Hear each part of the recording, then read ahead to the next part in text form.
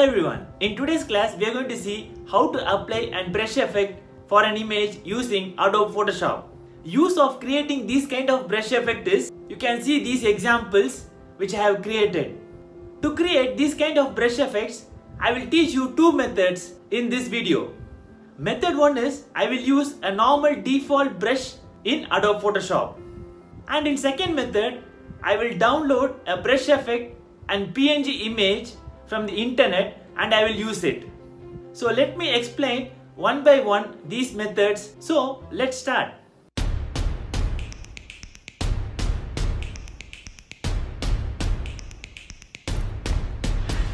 First, create a document and press B in the keyboard for brush tool. If you go to the brush tool panel, we have n number of brushes.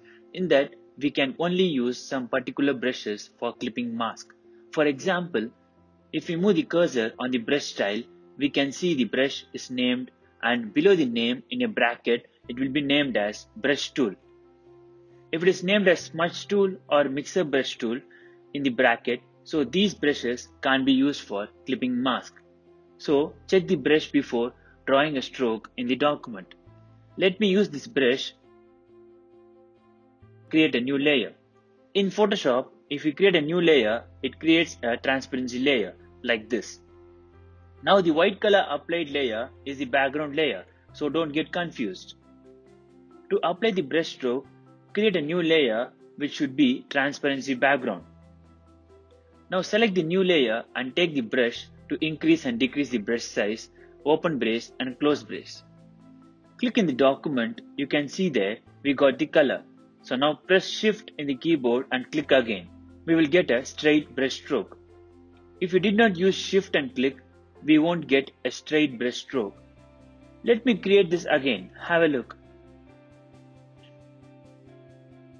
Now create a new layer and place the image in the layer and right click the image layer, give create clip masking. You can see there we got a beautiful masking design in simple brush stroke which we created. We can use this kind of masking for creating posters, visiting cards and album like photo collages. And we can resize and scale, move the image and the brush stroke by using transform option, pressing Ctrl T in the keyboard. Now let me hide this layer and I have downloaded the brushstroke style like as a PNG file from the internet. We can download more brushstrokes from the internet, it should be a PNG file. And from Adobe also we can download brushes. Using this downloaded PNG file brushstroke, I am going to mask an image. Let's create a layer to place the image.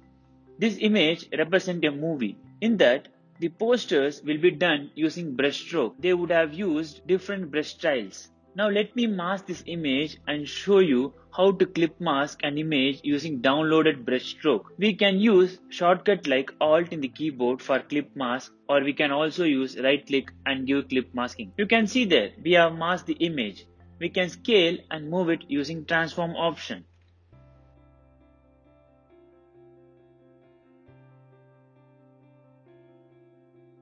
Using brush strokes, we can create simple and beautiful designs. Let me group all these and show you people once again as fast as I can how to clip mask in a brush stroke. Take a brush, click in the document and use shift and click. Again, we will get a straight brush stroke. Now create a new layer and also we can use Ctrl Shift N to place an image. Now right click or use alt and click in the between the layers to clip mask.